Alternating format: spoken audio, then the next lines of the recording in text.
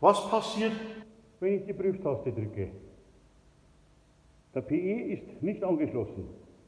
Löst der E4 aus oder nicht?